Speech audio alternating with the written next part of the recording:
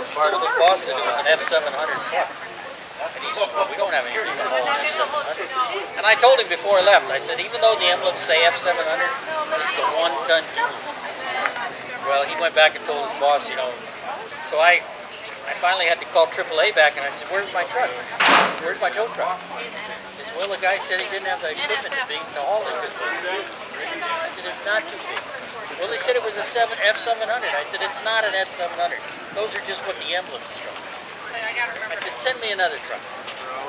They did. So the guy was pulling my chain. He got out of the young guy, nice, friendly guy. He got out of his truck and he said, well, he looked it over and he said, I got bad news. Turbo. It's too big. And then he says, just kidding, just kidding. Ah. Where do you put the So I radiator? had it hauled home and then I replaced the rear. Had to take the whole rear end out.